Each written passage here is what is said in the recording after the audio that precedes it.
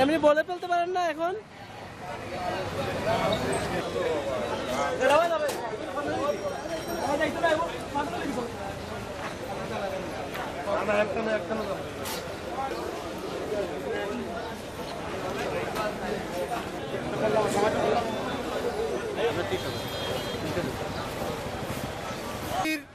আহ্বানে এই মানববন্ধনের উদ্দেশ্য হচ্ছে ফ্রান্স প্রবাসী শামসুল ইসলাম আমাদের বাজারের বিশিষ্ট ব্যবসায়ী এবং সম্ভ্রান্ত পরিবারের সন্তান আব্দুল কাইমকে হত্যার উদ্দেশ্যে যে অমানসিক নির্যাতন চালিয়েছে, সেই অমানসিক নির্যাতনের প্রতিবাদে আজকের এই মানববন্ধন।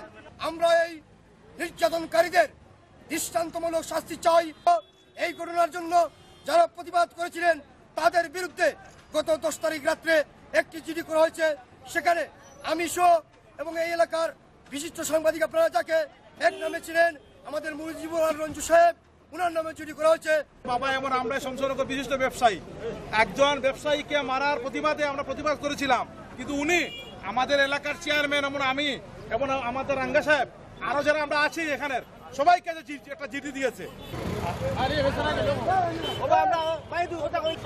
বাসায় নিয়ে ডেকে উনাকে যে নির্মমভাবে নির্যাতন করা হয়েছে এর তীব্র নিন্দা জানাই আমরা।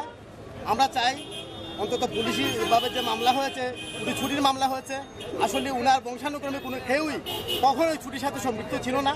পুলিশি তদন্ত সাপেক্ষে সুন্দর একটা বিচার চাই আমরা।